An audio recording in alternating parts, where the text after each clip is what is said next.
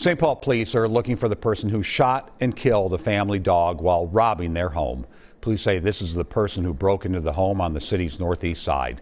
The homeowner told our Adam Duxter that what was taken can never be replaced. St. Paul police want you to take a good look at this person. It's who they say broke into a Margaret Street home yesterday morning, stealing an assault rifle along with thousands of dollars in silver, but also taking something homeowner Tony Kiris says can never be returned. Um, I lost my best friend. His dog Max shot and killed by the intruder. He was uh, almost 10 years old, never hurt a soul. The dog was a golden retriever, just perfect, perfect dog.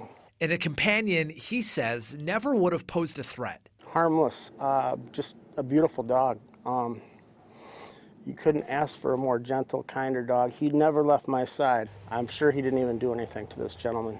He just probably was in his way and maybe tired of practice. I don't know. Well, Kiris says he's never seen this person before. He hopes their distinct features, including a tattoo on their cheek and hand, means someone has. St. Paul police say any tip helps.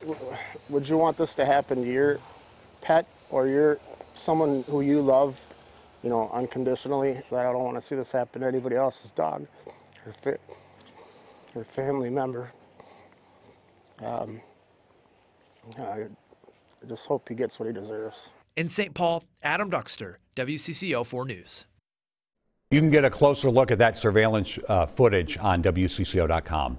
St. Paul police say call 651 266 5867 if you have any information.